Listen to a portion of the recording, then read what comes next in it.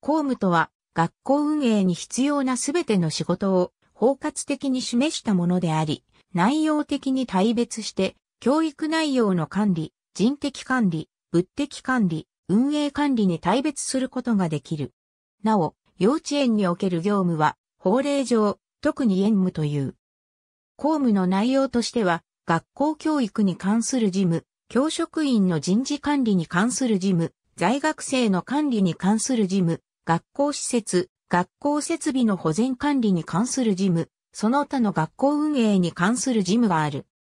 これらの公務は、学校教育法第37条、第2項において、校長、学長、園長が司るとされているが、実際には、校長、学長、園長自身が、公務のすべての過程を処理するわけではない。校長は、学校管理規則にのっとり、所属する教職員に公務を分掌させ、公務の統括者として、副校長、教頭を通じて、全般的な調整、統合を図ることで、学校運営を行う。公務文章の組織化にあたっては、その学校の教育目標、教育計画などとの関連により、合理的かつ効率的に構成され、担当者の責任を明確にし、理解と協力が得られるようにしなければならないと一般的に考えられている。法令上の公務の捉えは、学校教育法第37条第4項に、校長は公務を司り、所属職員を監督するとあることから、校長の司るべき学校運営の一切と考えるのが妥当である。したがって、まず第一には、法令に校長の職務として規定されているものが、法令上の公務である。その他、地方教育行政の組織及び運営に関する法律の第23条に関わる教育委員会の業務の中で教育長が校長に任する内容も公務として捉えられる。また、これに基づき教育委員会が学校に対して補助執行を命じた内容も公務である。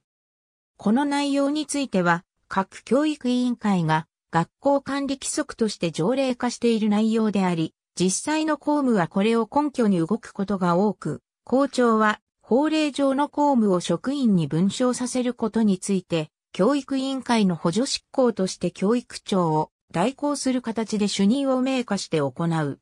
また、学校の置かれている社会的責任や職場の長である校長として、あるいは教員として当然行わなければならないことも講義においては公務と捉えられているのが通例である。また、近年では保護者や地域住民のニーズが多様化していることから、公務の捉えが多様化、多岐化しており、公務自体の捉えもそれぞれ曖昧になってきており、苦情処理なども危機管理というくくりで公務として捉えられている。学校教育法第37条第2項の規定から言えば、公務は校長が司るものであるため、校長の職務権限として捉えるのが妥当であり、この4つの事項は、校長の4管理という言葉で表され、公務の具体事項として一般的に認識されている。また、これを職員に分掌させる権限は、地方教育行政の組織及び運営に関する法律第33条などから言えば、教育委員会の所管事項であると考えられる。したがって、公務は管理規則に基づいて校長が文章させ、組織化することから学校管理とも連動する。この観点から言えば、教育委員会は校長の公務の執行の方法について指示、命令する権限、職責を持っており、法律上原則として学校の組織運営に関わるすべての事項にその管理権が及ぶことになるため、教育委員会と校長の関係が上下関係に立つものである限り、校長の権限行使に関して、教育委員会が細部にわたって具体的な指揮監督を行うことは法令上可能である。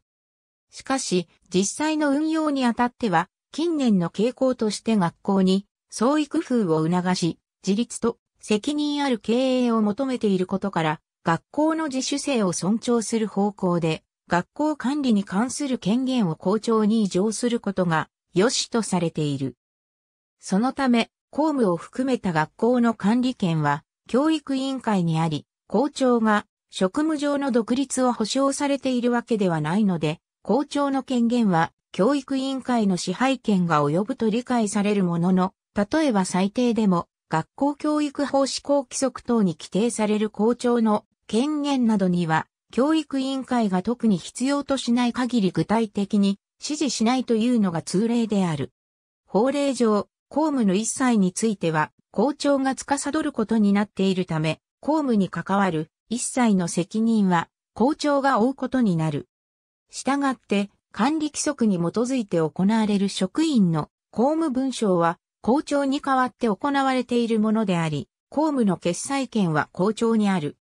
さらに法令上では、その管理権が教育委員会にあることから、講義にはその所管する教育長がそれを負うという解釈もできるが、一般的には公務の責任は校長が負うものである。そこで公務の執行にあたり、学校教育法第37条第2項の所属職員を監督するの解釈として、公務に当たらせる職員の職務監督と身分上の監督があるが、公務の文章という事項は、校長の公務執行において、職員をいかに文章させ、効果的な公務を遂行するかという課題が生じる。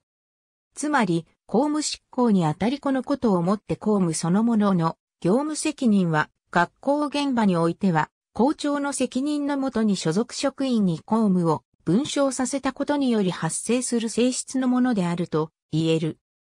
したがって、学校教育法施行規則第48条の規定では、職員会議は校長の公務執行に資するために校長が主催するものであるとされており、公務に関わる責任は、この規定上でも校長が負うことになる。それがゆえに、職員会議は議決機関ではなく、校長の公務の文書を職員が行う、際の調整及び共通理解を行い、最終的には、校長の責任のもとに決裁された公務を執行するために設置されるものであると規定できる。したがって、校長の責任のもとで、文章業務にあたる職員の調整を図る、職員会議そのものには公務に対する責任は発生せず、これに基づく校長の判断に公務そのものの責任が生じる。そのため、文章に当たった職員の責任は、公務員としての職務責任や職務遂行上の経過責任は生じるものの、教育課程など決定された公務や、結果に対する責任は問われないとされる。ありがとうございます。